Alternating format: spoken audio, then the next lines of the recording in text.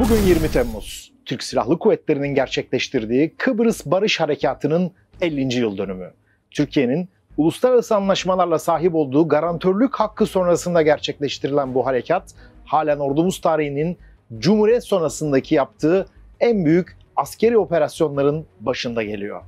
Şimdi size harekatın gazi yarbayı, silahlı kuvvetlerde komando biriminin kuruluşunda çok önemli katkı sağlayan Cemal Eruç ile tanıştıracağım.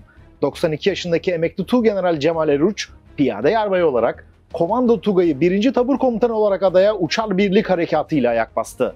Harekatın ilk gecesi çok kritik çatışmaları bizzat yönetti. Operasyonun seyrini değiştirdi.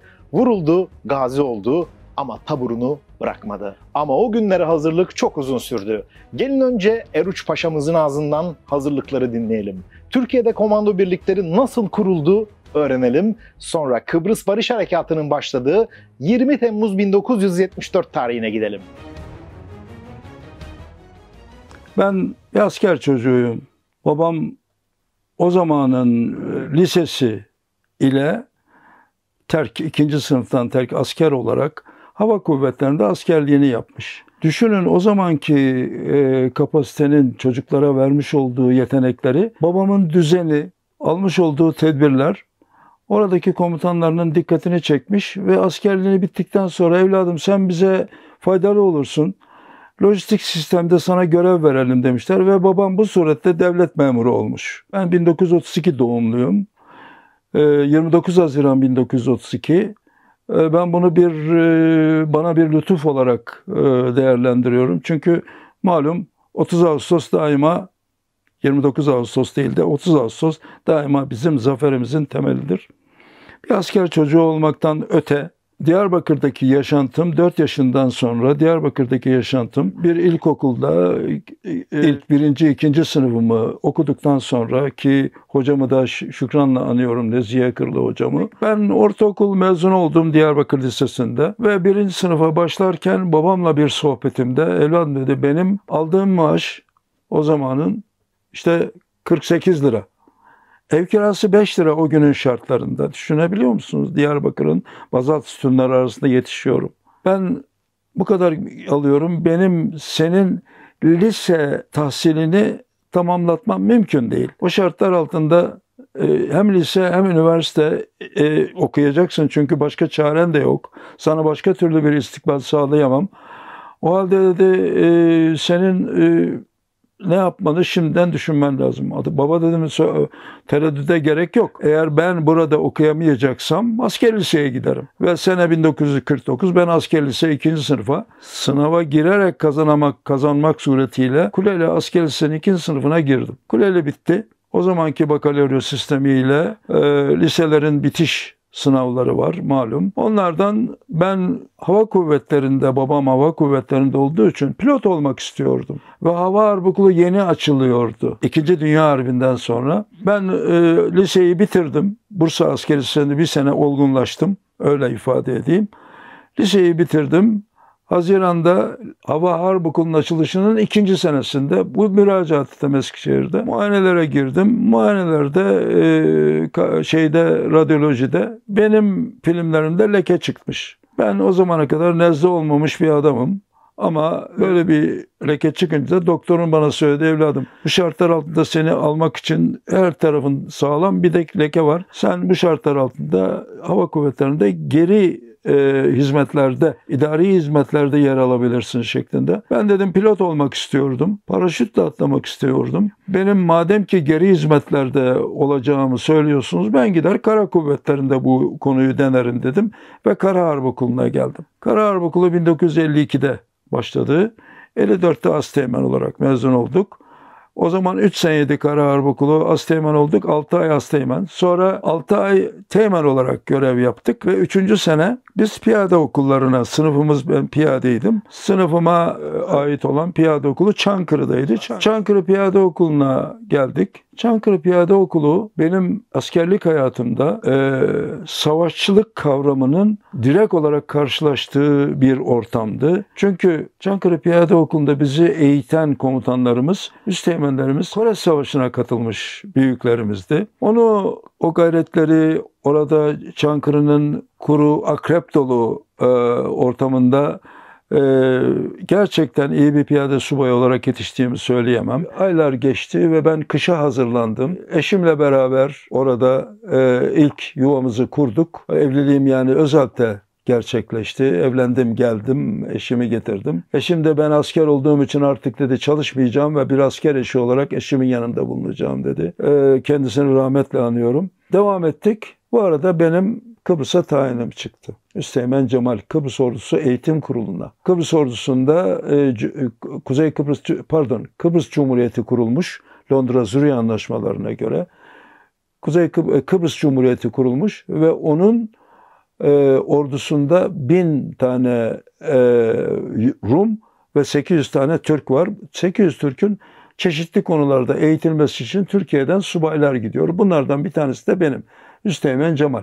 Gittik. Bir Yunanlı ortağım vardı. Yanuzis. Onunla beraber Kıbrıs ordusu için talimname ürettik. Tabii Amerikan talimnamesini aldık, tercüme ettik ve o arada geçen sürelerim daima Yunanlıları dikkatle izlemek ve Kıbrıs'ta kurulan ki eğer kronolojik olarak benim ifadem de, de gerekirse 1900 55'lerden ee, itibaren başlayan ve Grivas'la devam eden bir yapılanma vardır EOK'nın yapısı. Onunla teşkil edilen EOK'nın karşımda Kıbrıs ordusunda yer aldığını gördüm. Hatta sportif karşılaşmalarımızda mesela voleybol maçlarında ben pasör oynuyordum. Benim karşımdaki takımın EOK'lı olduğunu ve benim tepeme o hırsla küt indiğini biliyorum. Ama ben onu avlıyordum. Bana arkadaşlar veriyorlardı. Ben onun arkasına atıyordum. Çıldırıyorlardı. Yani her sahada bizim gerek sportif sahada gerek askeri sahada 650 kişilik bir kontenjan Londra Zürih anlaşmalarına göre o da mekan tutmuştur ve elden geldiği kadar da Türklüğün mücahitlerle beraber Kıbrıs ordusunun ve 1955 senesinde kurulmuş olan Türk Mukavemet Teşkilatı'na da yardımcı olmak suretiyle oradaki yapıya yardımcı olan ve elden geldiğince Türk e, toplumunun, Türk toplumunun güvenliğinin mutlak surette kazanılması gerektiği şeklindeki düşüncemiz daima kuvveden fiile çıkmıştır. E, benim e, ondan sonra öğretmenliğimden sonra terfim geldi, yüzbaşı oldum. Bir senede alayda 4. bölük komutanlığı yaptım. Vaynes Keep kampı denen kamp, Kıbrıs Türk Kuvvetleri Alayı'nın 4. bölük komutanı olarak bütün taarruz tatbikatlarında o bölük görev aldı. Yani ne yapacağını bölük taarruzda çok iyi biliyordu. Zaten taarruzdan başka bir şey de düşünmemiz mümkün değildi. O şekilde bir e, Kasım olanda, Aralık ayında Türkiye'ye tayin oldum. İkinci şark hizmetim başladı Hasankale'de. Ee, bölüm iyiydi. Ee, yapılması gerekenler bölük komutanı olarak yapıldı. Bölük daha iyi ekonomik şartlara ulaşması için elden gelen gayret gösterildi. Bu arada Dağ Harekatı kursu çıktı. E, Dağ ve Komando Okulu'nda. Karargah Bölük Komutanıyım. Alay komutanım beni kursa göndermek istemedi. E, karargah bölüğü ne olacak? Halbuki karargah bölüğümde daha sonra orgeneral rütbesine yükselmiş 8 subaylarım vardı. Çok değerli arkadaşlarım vardı. Çok iyi insandı. Ben çok şanslıyım. Çok güçlü e, ast kademeyle çalışmışımdır. Mümkün olduğu kadar komutanı ikna etmek suretiyle ben dağ harekatı kursuna katıldım. Dağ Harekatı kursunda çok iyi bir kayakçı, çok iyi bir dağcı olarak lisanslı ve e, iyi bir tırmanıcı olarak yaz ve kış dağcılığını öğrendim, geldim. Oraya geldiğim zaman Süleyman Günçanızı'ndaki komutanımıza öğretmenliğe başladıktan sonra bir teklifim oldu. Komutanım ben madem ki dağ ve komando okuluna dağcılık öğretmeni olarak tayin oldum. Bana müsaade edin ben burada komando kursu da göreyim. Kendileri bu konuya anlayış gösterdiler ve benim komando kursuna 32 haftalık komando kursuna gerek kara bölümü gerek deniz, su, su altı, su üstü bölümü gerekse paraşüt bölümüne girmeme müsaade ettiler. Ve ben o kursta 56 tane kursiyer arasında birinci oldum öğretmenliğimin devam etmesini beklerken İzmir'deki NATO karargahına emniyet subaylığı olarak görevim çıktı. Emniyet subayının harekatçı olması, istihbaratçı olması ve gerekli müdahaleleri yapabilecek şekilde İngilizce bilmesi. E ben orayı da e, düzene soktum. 3 tane muazzaf subayım ve 12 e, tane az subayımla beraber bir de Amerikalı az subayla beraber Arkasından benim asli görevim olan 1971 yılı Ağustos'unda 1. Komando Tabur Komutanlığı'na tayinim çıktı. Birinci komando taburu dediğim zaman Eğridir'de kurulmuş olan ve Ankara'ya intikal etmiş olan 1965'ten itibaren kuruluşunu bildiğim, aldığı eğitimleri çok yakinen bildiğim ve onların da beni çok yakinen tanıdığı bir tabur. O tabur git Ankara'ya geldi. Şimdiki Merkez Ordu Evi'nin bulunduğu ki Suvari Kışlası'ydı. O kışlada teşkilatlandı. Tugay 71'in Ekim ayında Kayseri'ye intikal etti. Geldiler ve biz de komando eğitimimize başlamış olduk. Ben taburumu çok etkili bir komando taburu olarak o bölgede hiç çıkılmamış dağlara yani komando birliklerinin sahip olması gereken üstün fiziki kabiliyete ki 5 kilometreyi 29 dakikada biz tam teçhizatlı olarak koşuyorduk. Ben dahil olmak üzere. Ve bütün birliklerim, benim bütün bölüklerim gerçekten çok üstün fiziki kabiliyete ve disipline sahipti. Sonradan bugünlerde sorulan bir sorunun temeline orada cevap verdiğimi öğretmek için, söylemek için şey yapıyorum. Bana daha sonra akademinin söyleşilerine katıldığım zaman sorulan bir soru dikkatinize sunmak isterim. Efendim savaş zamanında disiplini nasıl sağladınız? E ben de kendilerine disiplinin savaş zamanında değil, disiplinin temelde bu birliğin temelinde birlik komutanının e, alacağı tedbirlerle o birliğin verilecek emirlere intibak etmek ve kendi hayatları söz konusu olsa bile emrin e, mutlak surete yerine getirilmesi doğrultusunda gayretler gösterilmesi olduğunu anlatmaya çalıştım. Ve bunu da sağladığımı düşünüyorum. Çünkü daha sonra benim birliğim Kıbrıs Barış Harekatı'nda gerçekten çok farklı görevler almak suretiyle e, kahraman tabur etiketini de almıştır. Kıbrıs Barış Harekatı'nda almıştır. E, Tugay'daki görevim o şekilde devam ederken bu görevleri yapma gayreti içerisinde olan bir birliğin e, hassasiyetini e, dikkatinize sunarım. Yani benim e, bu noktaya gelinceye kadar ki e, özel yaşantı şeklim böyle. Dikkatinizi çekerim burada mevcut aldığım görevler bir alın yazısı gibi bana daha sonra alacağım görevlere hazırlık imkanı vermiştir. Bunu da vurgulamak isterim. Efendim 15 e, Temmuz bu işin e, sadece tarihi başlangıcı. Tabii biz bir senedir uçar birlik harekatı, helikopter inme bilme, tank, tank avcılığı ve bizi e, çok iyi keskin nişancı eğitimleri, birliklerin çok iyi keskin nişancıları olması sebebiyle elimizden geldiği kadar birliğimizi gerçekten komando konusuna yakışır üstün özelliklere kavuşturmaya çalıştık. Bolu'nun dağlarında, Aladağlar'da, Bolu'nun efendim hem kuzeyindeki hem güneyindeki bütün dağlarda basmadığımız yer kalmadı bir sene içerisinde. Ve bundan şikayetçi olan personelinde olmuştur. Ama ben onlara daima beyler bakın bunu ben bu yaşımda yapıyorum. Aynı şeyleri, aynı sıkıntıları sizinle beraber uyguluyorum kendime. Taşıdığım çanta da sizinkiler kadar ağır. Lütfen bunu küçümsemeyin. İleride alacağımız sefer görevlerinde bu kabiliyetleriniz size hayatta kalma imkanı verecektir diye telkinlerde bulunarak onları mümkün olduğu kadar iknaya çalışıyordum. Tabiatıyla insanların ikna olması zaman zaman müşkilat arz edebilir. Ama komutanların bu konuda sabırlı olması ve personelini çok iyi eğitmesi gerekir. Ama bu eğitimde en iyi örnek komutanın bizzat kendisidir. Komando birlik komutanının en iyi kol çeken, en iyi koşu yapan, en iyi yatma kalkma yapan, en iyi yatarak atış yapan, en iyi en iyi yakın boğuşma yapan kişilerden olması lazım. E biz bunu verdiğimiz eğitimde birliğimize ben bunu birliğime verdiğimi düşünüyorum. 14 Temmuz'da emir alındı. Bu emre zaten biz 6, 6 saatlik hazırlık gayretinde veyahut da 6 saatlik hazırlık e, mecburiyetinde olan birliklerdir. Bazı yüklerimiz yükleydi, yüklüydük bu şeylere.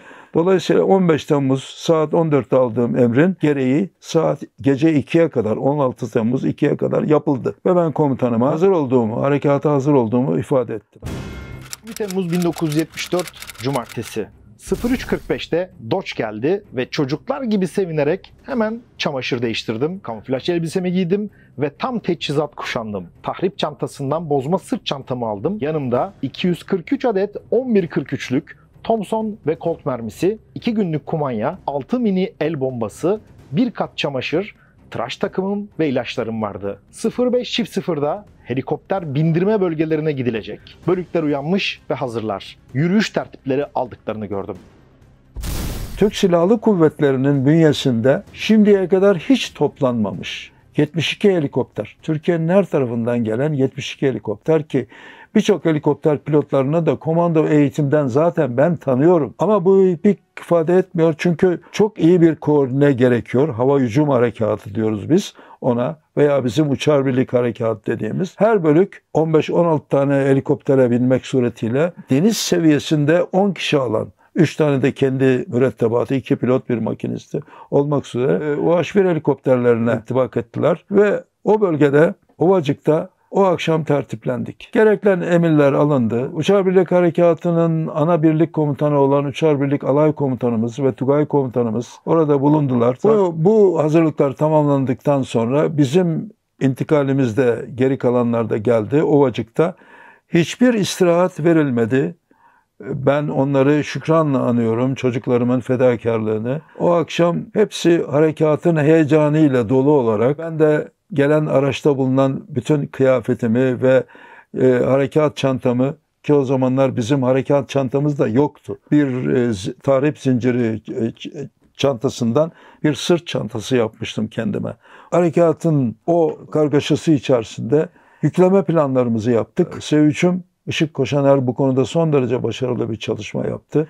Birliklerin gece saat 3.30'dan sonra birlik intikal bölgelerinde hazır oldukları bize bildirildi ve biz o gece saat 3.30'dan 5'e kadar intikal planına göre bölüklerimizi bindirdik. Bir tek problem yaratan 2 ton cephanem vardı. 2 ton cephaneyi helikopter pilotları biz onu file halinde sarkarak helikopterin dışında götürürüz şeklinde onların talimatlarına göre. Bense bu taşımanın o helikopteri hedef haline getireceğini, bunun böyle olmaması ve mümkün olduğu kadar bütün cephanemiz toplu olduğu için kutulara e, yani mühimmatlar, roket atarlar veya da hava mermileri kutular içerisinde olduğu için bunları helikopterin içerisine iki tane helikoptere bağlayabileceğimizi, kayışlarla ben de edebileceğimizi düşünerek bunu gittim teklif ettim, arz ettim. Tugay komutanımın yanında helikopter filo komutanı bu mantığımı doğru buldu ve emir verdi. Emir verince de iki helikopterim, iki ton cephanemi, benim atış payım dahil hepsini aldı ve bu suretle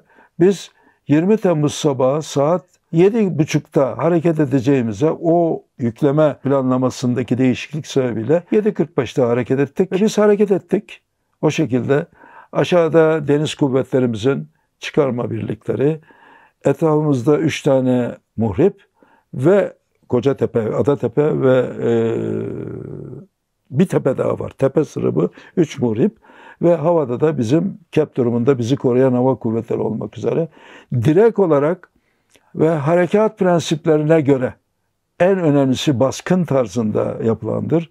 Yunan destekli veyahut da sevk ve idare destekli Rum kuvvetlerinin Magosa bölgesinde ve Güzel Yurt bölgesinde tert yani adanın doğusunda ve batısında oradan çıkacağımızı hesaplayarak aldıkları tertibin aksine direkt olarak Girne'den en kese yoldan direkt olarak indirme bölgesine indik. 7.45'te hareket ettik. 8.45'te benim ayağım Kırnı Havaalanı'nın toprağına değdi. 3 bölük hiçbir hava, yerden müdahale görmedik. Çünkü baskın tarzında olduğunu ifade etmiştim. İndik. Bölüklerim 17 dakikada tertiplendiler. Çok iyi bir tertiptir bu. Hani herhangi bir müdahale olmadan bu tertiplenmeyi burada ifade ediyorum. Ama çok iyi bir tertiptir. Kama düzeninde bir bölük önde, iki bölük e, arkada karargahı orta olmak üzere intikale başladık. O arada orada bulunan e, benim daha önce komando kursunda e, üçüncü olan sonradan dağ ve komando okulunda öğretim kurulu başkanlığı görev alan Selçuk Gözek elinde bir karabinle beraber beni karşılamaya geldi ve bana bir onların geldiği araçtan bir araç temin ettiler. Beni Kolordu karargahına götürdüler. Tabur intikale başladı. Tabur intikale başladı indikten sonra. Tabi bugün hepsi ağaç dolu veyahut da orman dolu olan bölgeye o zaman çıplaktı ve e, hemen Boğaz'ın dar yolu bölgesinde yani Lefkoşa Girne yolunun en daraldığı yerde Kömürcü köyünün bulunduğu bir bölgede bir bembeyaz ev görünüyordu kırmızı kiremitli. Sonradan şehit düşen Üsteğmen e, Oğuz Yener'e komutanım nereye gideceğiz önde olan birinci e, öne birinci, o ilk belik olarak söylemiştim uçta. O bölgeye o kışta şeye doğru binaya doğru hareket edin ben sizinle orada buluşacağım dedim. Karargaha gittim. Karargahta Karargahta kendi tertiplenmesi, kolordu karargahı da kendi tertiplenmesiyle meşguldü. Orada hava kuvvetlerinden olan Ayhan e, Bozdoğan isminde bir arkadaşım vardı. Bunu şunun için söylüyorum. O sırada saat 12-1 civarında öyle ifade edeyim. Bir Yunan iki tane fantom uçağının bize müdahalesi oldu. Fakat o uçakların arkadaşımın söylediğine göre yeni geldiği için pilotlar daha acemiydi. Hatta onların bir atışı kolordu karargahının yanındaki su depolarına isabet etti. O arada bizim uçaklarımız F-100'ler geldiler ve Yunan uçaklarını aldılar götürdüler ama düşürdüler ama indirdiler bilmiyorum.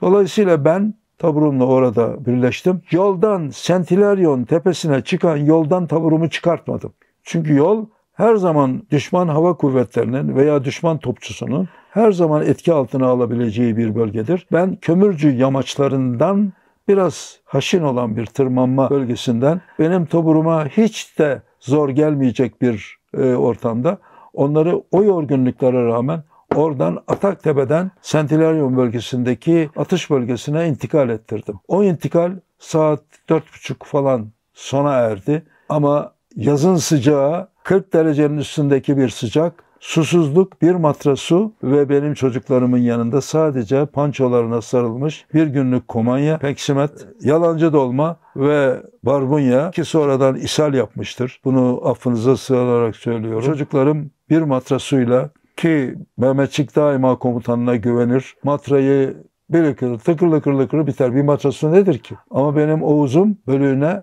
matra kapağında su içmeyi tavsiye ediyordu ve bunu uyguluyordu. O yamaçlara tırmanırken. Sonradan bugün rahmetle andığım Hasan dayı e, Macun Mücahitlerden bize su taşıdı. Bütün çapraz atışlara rağmen o büyük insan ki cennetler olduğunu, cennetlik olduğu kanaatindeyim. O bize su taşıdı, bizim su ihtiyacımızı giderdi. Zaten bir günlük komanyayı kimse düşünmedi. Yiyeceği kimse düşünmedi. Sadece oraya sağlıklı bir şekilde intikal. Çünkü oradan sonra artık harekatın ilk adımının atılması gerekiyordu.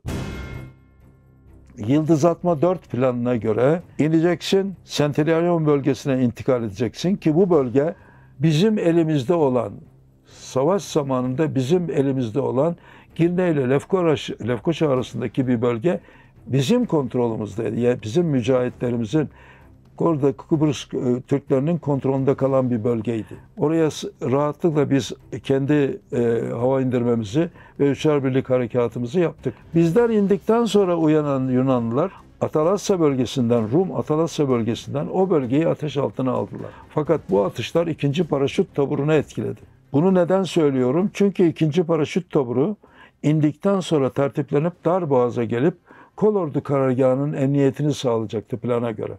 Fakat gelemediler. Bunu üzülerek ifade ediyorum. Fakat taburun eksikliğinden değil. Atış esnasında topçu atışına maruz kalan bir birliğin birlik bütünlüğü bozuluyor. Bunun tertiplenmesi zaman alıyor. Bunun da böyle devam ettiği bunun da böyle devam ettiğini değerlendirerek ben elimden geldiği kadar o birliklerin bütünlüğünün sağlanması için gayret gösterdim. Birliklerimi hazırladım. Saat 10.30 civarına kadar da kenarda sızmışım bir yerde. Sonradan 10.30 civarında yanında sızdığım otun veya da e, yamaç ağacının kenarından kalktım bir farklılık var. Benim güneyimde iki tane tepe var. Birisi Atak Tepe, birisi Doğru Yol. Bunların her ikisi de bana hakim. Yani benim o bölgelere mutlaka çıkmam gerekiyor.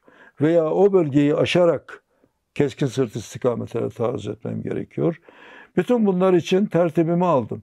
Bir bölümü güneyden, bir bölümü de atak mevziinden taarruz edecek şekilde tertip Fakat Tugay komutanından emir bekliyorum.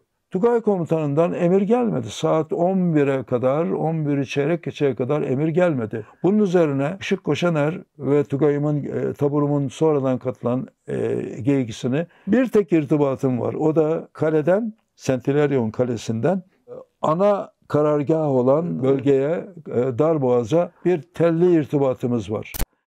Tugay komutanıyla irtibat kurun. Tugay komutanı paşa çiftliğindedir. Belki onunla irtibat kuramazsanız ama mutlaka bir emir almaya çalışın ve bana gelin dedim. Gittiler yarım saat sonra geldiler. Saat 11'i çeyrek geçiyor. Komutanım Tugay komutanıyla irtibat kuramadık. Kolordu karargahında binbaşı ismini verdiler. Ceridede hepsi yazılıdır. O binbaşım bize kolordu komutanının emrini iletti. Nedir dedim kolordu komutanının emri? Aynen yıldız atma 4'ü uygulayın. Yani taarruz edin. Keskin sırta taarruz edin. Ben o anda bir ikileme içinde kalmışken bu arada Yaman Tabur Komutanı geldi. Kendisi bugün rahmetlidir ve çok severim kendisini. Komutanım yanında mücahitler bir grupla ve bir de Doğru Yol bölgesinde bulunan Mücahit Üsteğmen ki benim 1900, 1960'larda eğittiğim bir üsteğmendi. Komutanım Rumlar geldiler, Rum komandoları geldiler, sızmışlar. Bizim mücahitlerimizi de imha ettiler. Doğru yol ve atak mevzii yani benim gerimdeki tepeler Rumlar tarafından işgal edilmiş oldu. Neden? Çünkü ikinci paraşüt taburu gelemedi. O bölge kapadan, kapanmadığı için Timsah Deresi'nden bir taburu sızdı geldi atak mevziine. Diğeri de dolaştırıldı ve keskin sırta getirildi. Arkadan benim tavsiye ettiğim bölgeden 5 kilometreden geldiler. Keskin sırttan sanki biz gelmişiz gibi Harbukulu Marşı veya Türkçe konuşarak gelmişler. Bizim mücahitleri aldatmışlar. Böyle aldatmalar her zaman olabilir. Her zaman olabilir. Dikkatli olmamız gerekiyor. Çünkü Rumlar da Türkçe biliyorlar, İngilizce biliyorlar. Mücahitlerimiz de Türkçe, Rumca biliyorlar. E bizde de İngilizce bilen az bir insan ama Rumca bilen yok. Bu şartlar altında onların da telkinleriyle ben artık Rumlar tarafından çevrildiğimizi, çünkü Sentilaryon bölgesinden benim sıyrılmam mümkün değil. Eğer sıyrılmaya çalışsam bile 985 rakımlık bir tepedir Sentilaryon tepesi. Onun gerisinde onun gerisinde aşağı inmem demek. O bölgeyi boşaltmam demek. O bölgeyi eğer boşaltırsam benim arkamdaki zirvedeki hakim olan unsurlar gelecek ve Sentilaryon bölgesi ele geçirilmiş olacak. Bu ele geçirildiği zaman Lefkoşa yolu, Darboğaz onların kontrolüne girecek ve bu şart, bu şartlar altında havadan nakledilen, atılan birliklerin çıkan birliklerle irtibatı kesilmiş olacak. Yamacın iki tarafı kontrol altına alınmış ve Rumlara inisiyatif verilmemiş oldu ama o gece biz taarruzu yaptık. Rumlara taarruzu yaptık. Güneyden Üsteğmen Haluk Üstügen ikinci bölümle, kuzeyden de Atak mevziine, Hacı Solom'dur onun eski adı. Atak mevziine benim Oğuz'umun bölüğü, üçüncü bölüğüm taarruz ettiler. Her ikisi de başarılı olarak harekatı sürdürürken üzülerek ifade ediyorum. Saat 3 civarında gece saat 3 civarında Oğuz'umun e, bir havan mermisinin paralanmasıyla böbrek bölgesinden yara aldığını ve kan kaybettiğini bana telsizle bildirdiler. Hemen sığ subayım Ali Yılmaz. İnanın bana bir sığ subayının bu kadar çevik, bu kadar komando olması mükemmel denilecek bir olaydır, bir vasıftır. Şey o kadar istikrarsız ve dengeler o kadar değişkendi ki ümitsiz olmak için tüm faktörler toplanmış ve beni adeta dövüyorlardı. 05.00'a kadar yanan orman içinde otomatik silah sesleri ve lav roket atarlar. M79 bomba atar mermilerinin infilak sesleri doğru yola kayarak devam etti. Yakın muharebe göze göz, dişe diş, kana kan. Saat 3'te ben taarruza başladım. Benim birliğim ilerlemeye başladı birinci bölüm.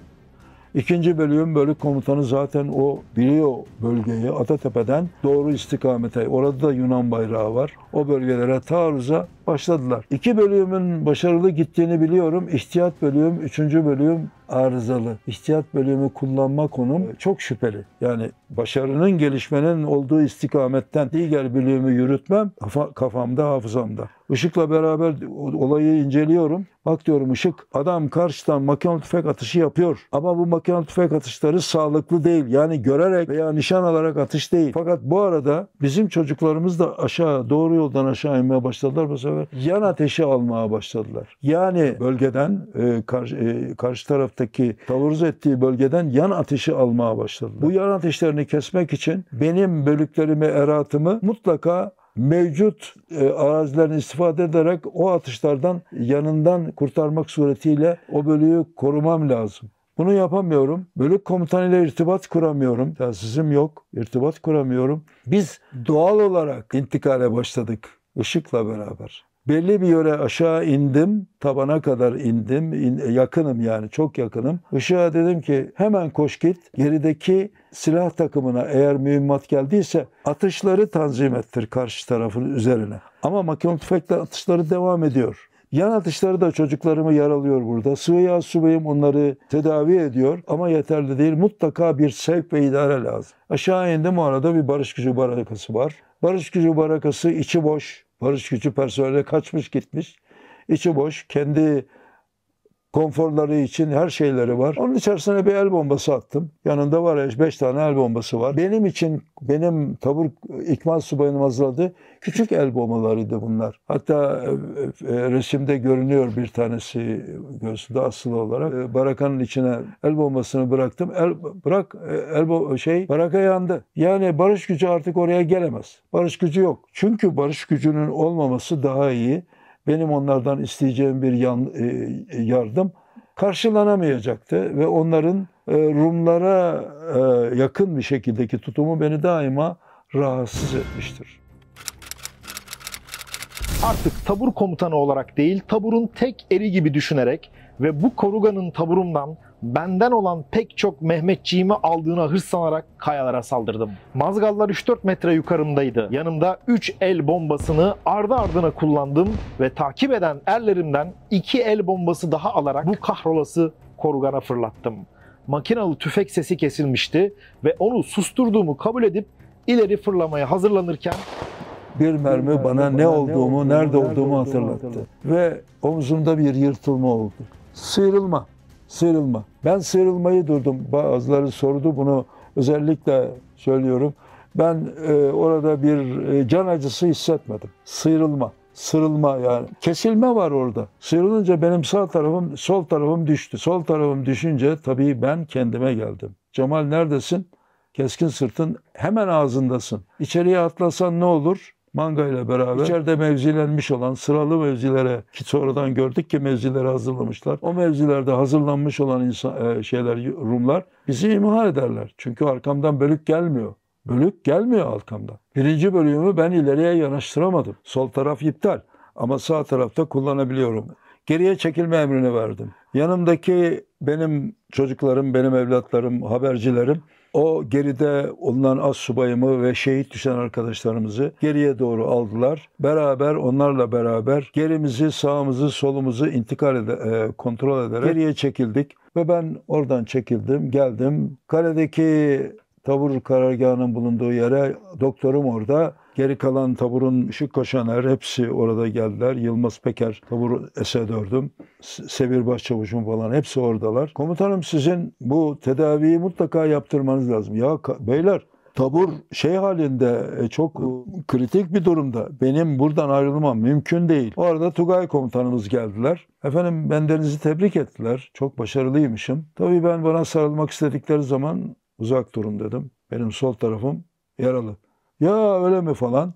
Yarayı görünce hadi seni hastaneye gönderelim diyor. Dedim, ben hastaneye gitmiyorum. Ben taburumun başından ayrılmam. E, tabii onun için daha önemli bir olay. Ben dedi Tugay'a böyle gideceğim. Burada güvenli bir elemanım var. Seni takdir ediyorum falan. Ayrıldılar gittiler. Atilla taburumun doktoru resimlerde vardır. Çok yiğit bir çocuktu o. Bir doktor, ortopedi uzmanı, bir yüzbaşı. Komutanım devamlı olarak bana komutanım bak sonradan mikrop kapar efendim kanserojen bir takım durumlar olur. Sol tarafın gider, sol tarafın gidince sağ tarafında gider. Mutlaka seni aşağı götürmem lazım. Ya kardeşim bir dakika sabırlı ol falan. Gel buraya Yılmaz. Tabur ne durumda? Öğrenmiş. Taburun S4'ü olarak öğrenmiş. Işık ne diyorsun? Işık merak etmeyin komutanım dedi. Ben de daha duruma hakimim. Yani oradan yiğit olduğu, gelecekte çok akıllı bir insan olarak daha faydalı olacağı zaten belliydi. Onlara güvenerek tabur doktorunun kontrolünde hemen aşağı indim. Dar yoldan zaten orası bizim kontrolümüzdeydi. Gece vakti, gece vakti e, beni kontrol aldılar. Bütün şehitleri ayırıyorlar. Sıhhi ilk yardım istasyonudur. Ayırır. Yaralıları tedavi eder. Yaralıların ağrılarını da hastaneye gönderir. Bana da komutanım biraz bekleyeceksiniz dediler. Beklerim dedim. Sonra geldi bir tanesi bir doktorumuz komutanım dedi sizin dedi yaranız sıyırma. E biz dedi o olu dedi kapatacağız. Yalnız dedi müsaade ederseniz uyuşturucu size kullanmayalım çünkü az kaldı uyuşturucular. Oğlum dedim zaten iğne çıkıp girmesidir bu.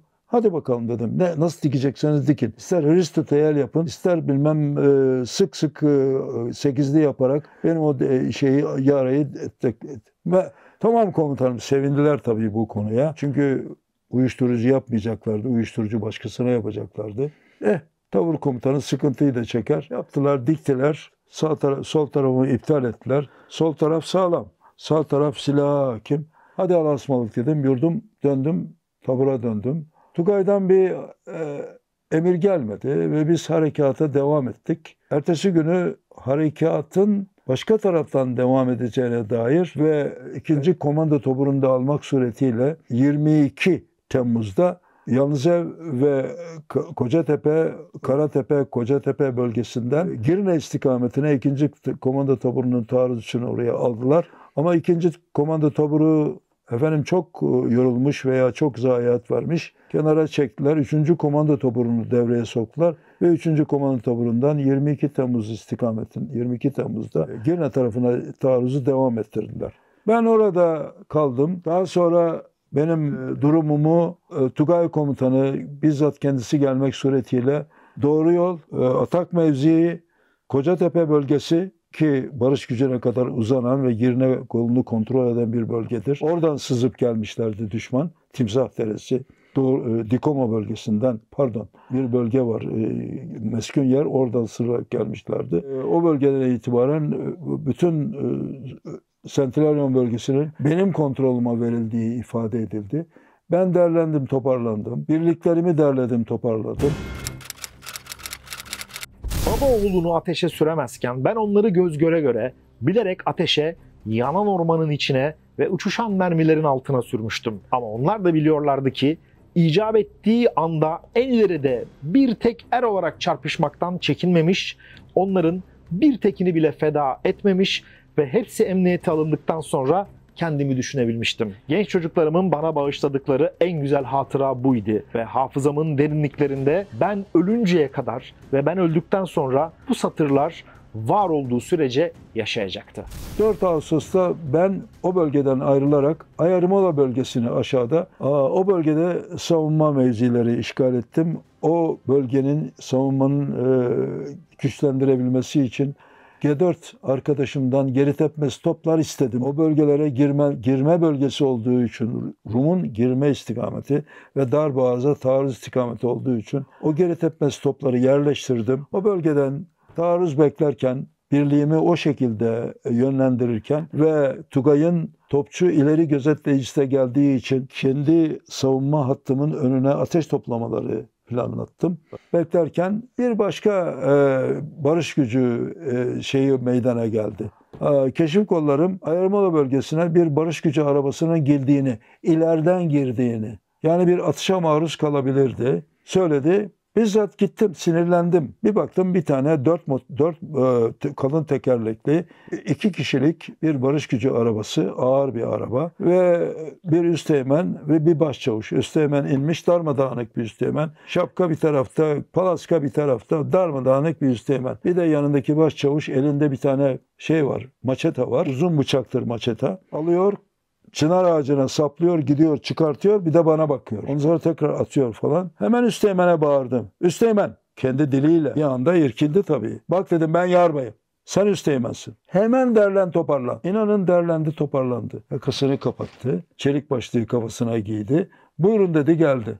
Ne arıyorsun sen burada dedim. Ben ileriden geldim dedi burada dedi Ayarmola'da bir tane yaşlı e, babayla anne varmış dedi onu almaya. Gelemezsin dışarıdan dedim. Sen dışarıdan geldiğin için benim roket atarıma maruz kalsaydın dedim şu anda hedefe maruz kalmıştın. Sen geriden gelmek durumundasın. Benim tümenime müracaat etsin barış gücü vasıtasıyla komutanların vasıtasıyla. Onlar müsaade edecekler benim bölgeme bana haber verecekler dedim. Şimdi cehennem ol geç şu herife de dedim al. Bir mermilik hakkı var. Öyle bari, e, ma, maçetayı ağaca saplayıp bana bakmasın. Sakın ola o gözünü kör ederim herifin dedim.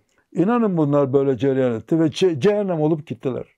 Ve ondan sonra e, 4 Ağustos'tan itibaren Mayarmola'da ben 16 Ağustos'a kadar barış gücünden ve Yunan'dan hiçbir hareket görmeden bekledim. 16 15 Ağustos geldi. İkinci harekat Ayşe tatile çıksın emri alındı. İki tümene 28 ve 39. tümenler hem Karpas istikametine hem Magusa istikametine taarruz ettiler. Sentralyon bölgesindeki o o sızan birliklerin e, imha olması, başarısız olması, benim birliğim tarafından yok edilmesi o bölgenin elde bulundurulamaması onlara e, yenildiklerini, geri çekilmeleri gerektiğini hatırlatmış olmalı ki hepsi geriye çekiliyordu. Mühimmat ikmaliyle 28. Tümen tank taburunu emrime aldım. 18 tane tankı. Bir bölümü o bölgelerin üstüne bindirdim. O bayraklar, e, e, tankların üzerine bindirdim. Onların taarruzu oradan devam etti. Biz Lefke atış yoluna tamamen gelmek üzereyken barış gücü karşımıza çıktı. Efendim zaten Lefke'den Rumlar çekildiler. Ben inanmam dedim gel bakayım dedim. Yerbay şirinsin sen çok şirinsin. Şirinsin çok yanıma otur bakayım dedim. Bunlar resimlerle tespit edildiği için söylüyorum. Lefke'de de böyle girdik Lefke'ye atış yoluna. O bölgede hakikaten geri çekildiklerini gördük. Benim ikinci bölüğüm tank taburuyla beraber girdiği için Sonradan bana telsizle verilen onlu koordinatlarla dört bölgeye kadar ilerleyebileceğim ifade edildi. Bunun sebebini böyle vurguluyorum. O koordinatlar olmasaydı ben daha ileri gitmeyi düşünecektim. Neden? Karşımda bakır madenleri tepesi vardı. Skriotis'a e, Cyprus Copper Mine, CMC bölgesi vardı. Bu bölge onlarda kaldı. Onlu koordinatlarla sonradan bana gelen bir takım e, gruplar neden buraya kadar ilerledi onu kendinize sorun dedi. Verdiğiniz emir onlu koordinatlar. Burası, burası, burası, burası. Bitti. Benim daha ileriye gitmem mümkün değil. Kaldı ki ileriye gitmek için birlik lazım. O birlik yok. Komando taburu çift kol aralığıyla bir tutulsa 20 kilometrelik cepheyi kapayamaz. 10 gün sonra bana da geriye çekil emrini verildi. Geriye çekildim. Ee, sonradan adı e, Güngörköy olan Kutsovendi köyüne ihtiyata alındım. O ihtiyata alındığım süre içerisinde Karpas bölgesinin bütün bölgelerinin araması şahsıma verildi, taburuma verildi. Deniz Baykal ve e, Turgut Özal'ın kazı Korkut Özal bölgeme geldiler. Bölgemde mücahitlerin telkinleriyle karşılaştılar. Efendim e, Atlıcı Barajı var orada biz suyumuzu temin edemiyoruz falan. Deniz Baykal Bey'i ben yani bizimki Olimpis Dağı'na girmemizi istiyorlar. E, maden bölgesine girmemizi istiyorlar. Ben Deniz Baykal Bey'i davet ettim. Bir yalnız odaya haritayı açtım. Sayın Baykal dedim. Siz her ne kadar asker değilseniz dedi. Benim derdimi anlarsınız. Bakın dedim. Maden Tepesi bölgesi, gerisi de Torados dağlarının yamaçları. Biz bu bölgeye bir taburla giremeyiz dedi. Kaç taburla girersek girelim mutlaka çok büyük zayiatlarımız olur. Büyük hazırlıklarımızın yapılması lazım. Sivil halkın iddia ettiği gibi suyu da Aplıcı Barajı'ndan temin etmiyoruz. Aplıcı Barajı bir benttir. Biz suyu dedim yer altından çekiyoruz. Kahvelerde oturan Kıbrıslıları harekete geçirin. Kıbrıs, Kuzey Kıbrıs Cumhuriyeti kurulsun ve kendisine sahip çıksın dedim. Sadece askerlerle bu iş olmaz. Lütfen bunu böyle bilin, olaya böyle bakın. Çok teşekkür ederim yarbayım dedi. Böyle olaylar geçti başımızdan. 26 Ağustos'ta beni çektiler. Ben o bölgede biraz evvel söylediğim gibi sadece arama bölgelerinde bulundum. Elimden geldiği kadar yardımcı oldum. Sonra tayinim çıktı. Dış göreve tayin oldum. Bir, o arada bir sınava girmiştim. 81 almışım. 2 senelik dedim. 3 sene kaldım. O bölgede NATO'da standartların korunması ve harekat planları üzerinde kara plan subaylığı yaptım. Ondan sonra da bildiğiniz maziye komando okul komutanlığıyla devam ettim. Okul ve eğitim merkezi komutanı ve emekli oldum. Şimdi emekliyim. Hepinize saygılar sunuyorum. Bu konuşmayı bitirirken Kıbrıs Barış Harekatı'na emek vermiş, Gazi Maraşal Mustafa Kemal Atatürk başta olmak üzere emek vermiş, kan dökmüş, e, ter dökmüş, kan dökmüş, can vermiş bütün gazi ve şehitlerimizi saygıyla anarak konuşmamı bitirmek istiyorum. Hepinize saygılar sunuyorum. Kıbrıs Barış Harekatı'na genel bir çerçevede bakılırsa Türk Silahlı Kuvvetleri'nin bütün eksikliklerine rağmen 50 yıldır hiçbir milli gaye için savaşmamış ve devamlı değişen personel kadrosuyla yani savaş tecrübesi noksanlığa rağmen başarı ile sonuçlanmıştır diyebiliriz. Size bu satırları Cemal Ürüç'ün Ceride kitabından okudum. Kıbrıs Barış Harekatı'nda tüm şehitlerimize Allah'tan rahmet diliyoruz. Gazilerimizi şükranla anıyoruz. Bir daha o günleri hiç unutmamak üzere.